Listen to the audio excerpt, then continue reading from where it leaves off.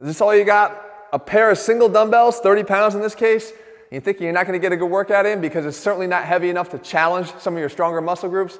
Today I'm going to show you exactly what to do and more importantly, arm you with the right techniques to make these guys feel two or even three times heavier.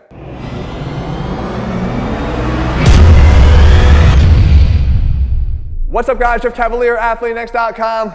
A 30 pound dumbbell. Maybe you went out and you bought a set of these from Walmart one day thinking you're gonna have that all purpose weight that you can use for the majority of your exercises to train at home. Maybe you don't have access to a gym, or maybe even you're at a gym and all the heavy weights are being taken at the moment and you are short on time.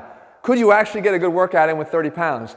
You could if you use the techniques I'm going to show you here today. And as a matter of fact, I'm going to show you an exact workout that you could do with these dumbbells to employ those techniques. So what you want to do to get started is look at the major muscle groups that you would train in a full total body workout like we're going to do here today. If you've got your shoulders, your legs, your chest, your back, and your arms, biceps and triceps. Now, that dumbbell weight might be more appropriate for certain muscle groups than others. Obviously, right off the bat, legs are going to be able to handle a hell of a lot more weight than, let's say, your arms are. So the way to break this down is to consider the exercises that you're choosing and how close those are to the normal weight that you would be using. So if I'm normally going to use 30 pounds on, let's say, a dumbbell curl, or maybe 35 pounds or 40 pounds, I'm pretty close with the 30s. So the technique that I would have to use to intensify those 30s to bring them up a little bit will be different than the intensity technique I have to use on a heavier exercise like a squat to make that infinitely harder. So here's the workout. So to kick it all off, we start with our arms, right? The smaller muscle groups that are closest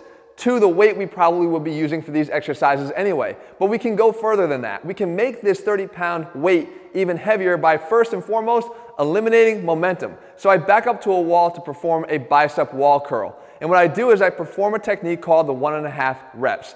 Now what I do by doing the one and a half reps is I force more time under tension and I get rid of the momentum even more. So I can't lean forward and back as I could if I was doing this away from the wall. And because of the fact that I have to reinitiate a rep when I'm used to just letting it drop, that makes me use my contraction of the biceps even more, and I don't have the opportunity to use that swinging momentum. The next thing I could do is a dumbbell lying tricep extension. I could do it the same exact way with one and a half reps. Again, I make this 30 pound weight heavier, something that maybe I'm more used to using. I could do 45s, I could do 50s here, but I only have 30s, and so do you, and that's the predicament we're in right now. But by doing one and a half reps, I can make those weights feel a lot heavier and target the triceps a lot harder with that lighter weight.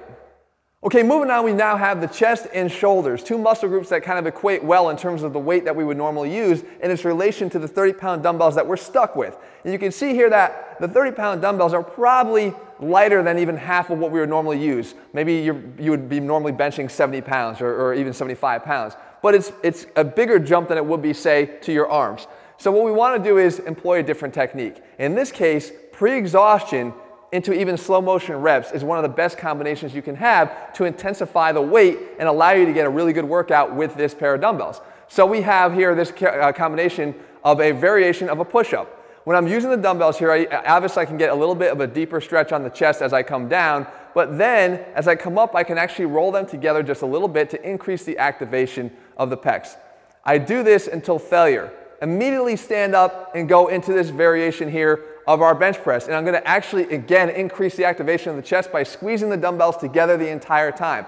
Activate the adduction component of a chest press to allow me to really, really fire up the chest as much as I can. And because we pre-exhausted it with the exercise before, this becomes infinitely harder. This doesn't feel like 30 pound dumbbells, trust me. And your weight, your muscles cannot count what's on the weight. They don't know what number is written on the dumbbell. They only know what it feels like. And I can tell you this will feel a lot heavier.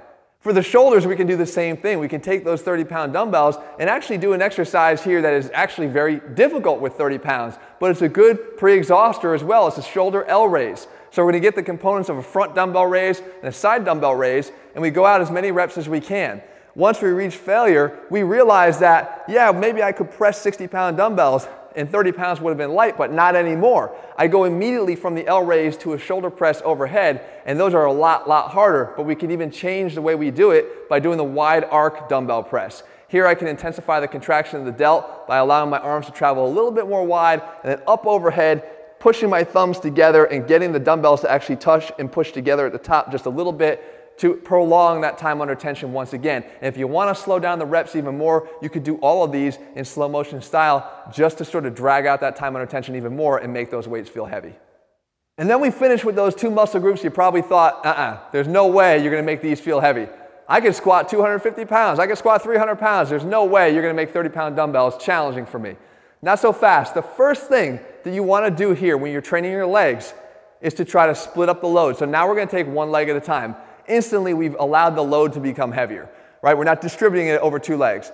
Now, we want to do a dumbbell Bulgarian split squat and we're going to do it in landmine plyo fashion. So we're going to make it explosive and we're going to do something all important here called a stop ladder. This technique will intensify any exercise, trust me. And you jump off the ground, land slow, come down to the bottom and hold it for a single second. Now you come up for your second rep. Land and you hold it for two seconds. And then you come up for your third rep. You do your third rep, explode, come down, hold the bottom position for three seconds. That increased time under tension, that is gonna catch up to you. And you might find that you might not even be able to make it to 12 reps that you normally would be able to make on a much heavier dumbbell because of that increased time under tension, that accrued time under tension over time. Now we move on to the back. And again, we're in that same situation where our back is usually capable of handling heavy loads, but not if we tweak and use the same technique here. Set up an incline bench and go on it reverse. Now you're gonna go with your chest down, arms hanging down, and you're gonna do a row. Now the row here again is hard. It's hard enough because we've eliminated momentum by putting ourselves flat down against the, uh, the, the bench itself. So we have to do this without any assisted momentum that we could get from a standing row.